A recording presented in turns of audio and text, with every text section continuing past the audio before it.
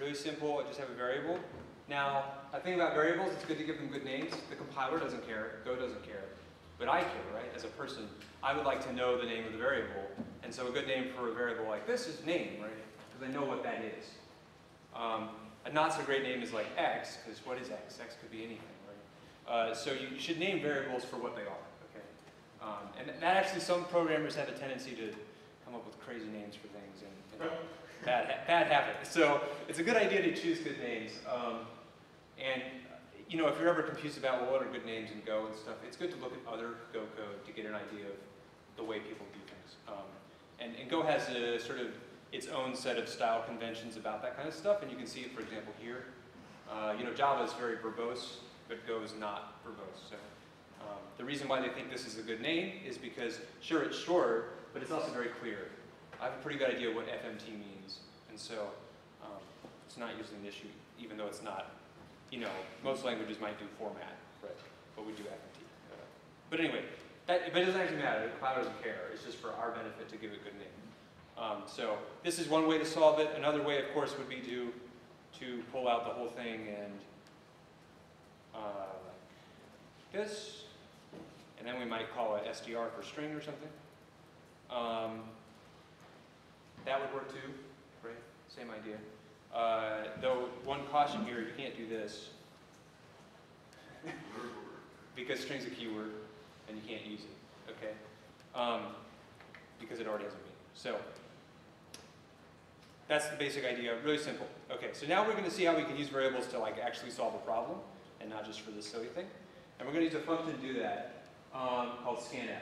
Okay, so what is scanf? Let's go look at it in the documentation. Um, so we have format open over here, and here's scanf. Scanf scans text read from standard input, storing successive space-separated values into successive arguments as determined by the format. It returns the number of items successfully scanned. Okay, so your terminal has a standard out and a standard in. And standard out, when we do print line, sends text to this to that. Okay, but we also have a standard in, and when you type things, that's coming from standard in. Okay, and so we can read from that to get a value. So wouldn't it be cool if we can make a, a program which instead of just printing out the name of a variable like uh, this, um, would read it in so the user could enter their name, right? Like, wouldn't that be nice? Uh, so we can change this program to do that, okay? And we can do so using this scan line or scanf function, okay? We could use scan line too, it just, uh, when you hit enter, would read it. Um, so let's see the scanf, the format, right? What is this format string? Uh, and that is described somewhere in here. Uh, way at the top. So here we go. All kinds of formatting things. So you basically percent and then a character and describes the format. Uh, I think we just want a string, which is just uh,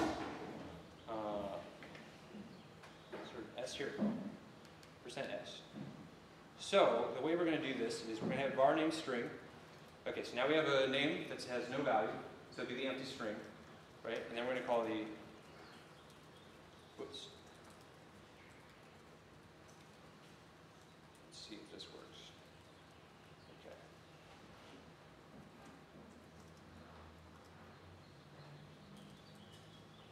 Okay, so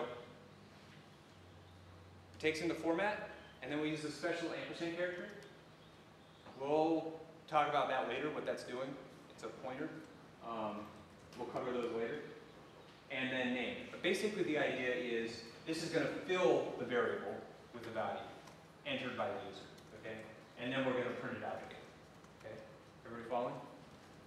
Um,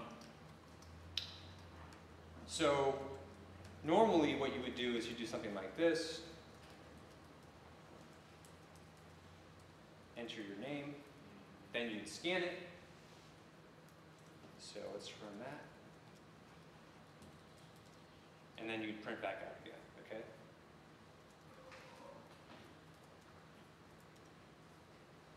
Okay, now we have an opportunity to write a real program.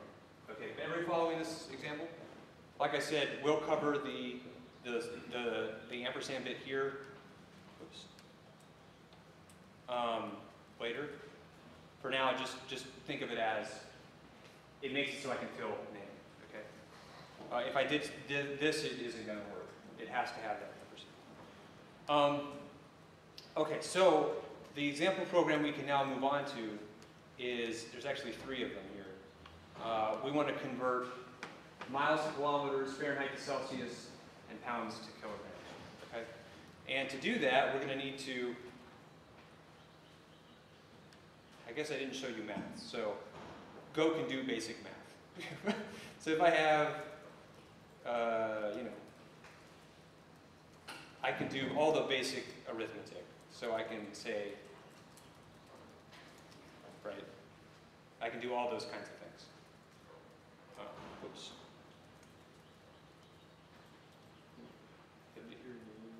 You can use it as a calculator, is all I'm, I'm saying, right?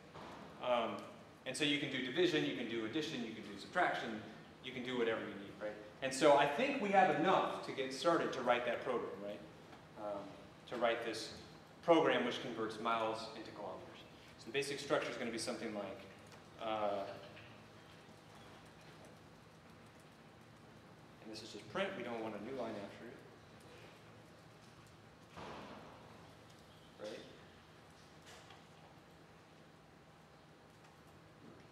actually probably use something called, a, or, a, uh, what's instead of, we could use an integer, but it, it wouldn't be exact.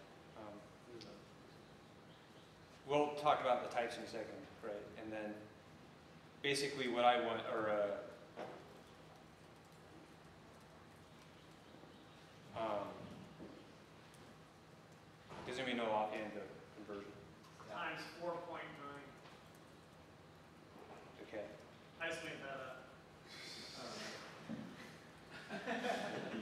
Let's, let's consult the Google. It's one point six. There we go. See, Google's great.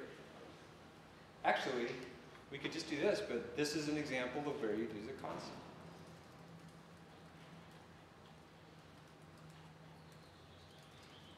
Right?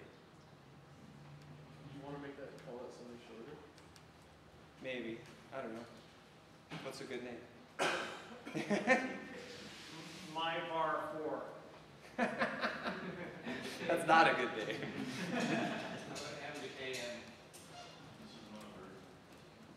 This is Okay. not a variable.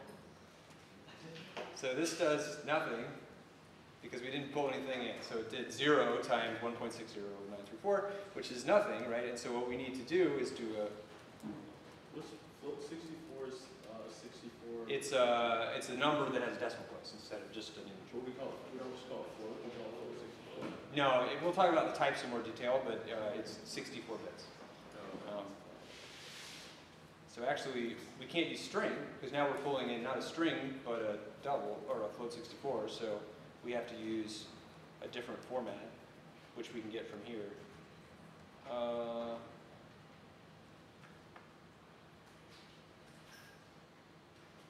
this F. I think that should work. Let's see.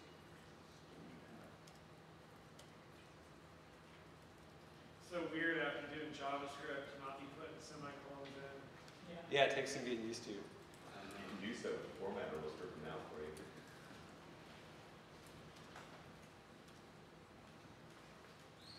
There we go. Okay. So now it can calculate, uh, it can convert miles to kilometers. Okay. So the basic idea here is I just have this nice little prompt. I then fill in the number of miles. I then do basic arithmetic. And then I print it out again. Everybody following this example?